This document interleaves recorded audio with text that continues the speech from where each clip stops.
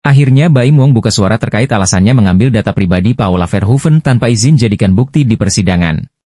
Seperti yang kita ketahui sidang perceraian antara pasangan Baim Wong dan Paula Verhoeven kembali digelar pada Rabu, 20 November 2024 di Pengadilan Agama Jakarta Selatan. Diketahui, agenda sidang kali ini adalah pembuktian, di mana Baim Wong menghadirkan sejumlah bukti yang menguatkan permohonan cerainya. Dalam kesempatan tersebut, Baim Wong menghadirkan sebanyak 43 bukti yang diklaimnya sebagai bukti kuat mengenai alasan perceraiannya. Bukti-bukti tersebut berupa rekaman, chat, dan berbagai dokumen lainnya yang diduga berisi aib Paula Verhoeven. Alhamdulillah penyerahan bukti sudah semua saya lega, saya nunggu banget hari ini. Karena bukti itu yang paling penting sampai akhirnya saya keluarin di tempat yang tepat, e ungkap Baim.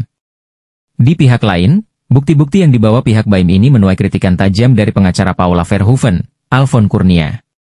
Menurut Alfon, materi dari Baim itu tak membuktikan apa pun. Di situ tidak ada terbukti apa-apa. Bisa dikatakan saat ini kami menolak, ya tegas Alfon. Ya kami menilai bahwa tidak ada apa yang dituduhkan oleh si penggugat. Walaupun kami menilai bahwa dalil mereka itu berubah-ubah, Isambungnya. Tak hanya itu saja, Alfon menduga jika bukti itu ilegal dan tidak sah. Hal itu lantaran bukti terutama dari isi HP itu tidak didapat secara utuh dan tanpa persetujuan. Kebanyakan bukti elektronik, terkait dengan bukti itu sebenarnya di dalam UU ITE, bukti itu harus utuh oleh sebab itu kalau ada bukti yang tidak utuh itu tidak bisa dijadikan barang bukti, jipapar Alfon. Kemudian perolehan bukti itu harus didapat secara legal, tidak dilakukan tanpa persetujuan, bukti itu juga harus didapat secara sah. Bukti yang ditampilkan itu, menurut saya bukti didapatkan dari seseorang tanpa persetujuan, lanjutnya. Terkait ini, dia punya penjelasannya sendiri. Harus ada prosedural, itu hal penting. Memindahkan data dari device ke device lain harus ada izin. Dalam perlindungan data pribadi, itu dilindungi, ujar Alfon. Itu muncul sebagai hak privasi.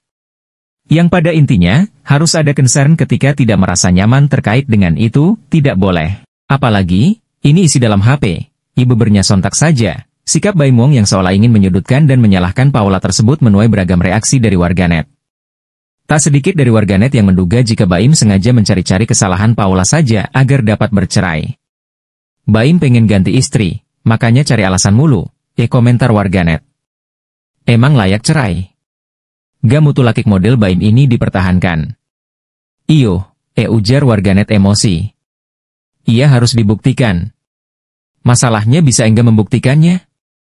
Kalau, udah koar-koar, tapi tidak terbukti, bisa dilaporin gak sih? Pencemaran nama baik, komentar warganet lain, selain itu Chelsea Verhoeven membongkar sosok pria yang temani kakaknya, Paula di sidang cerai Baim Wong, bongkar status Fergie.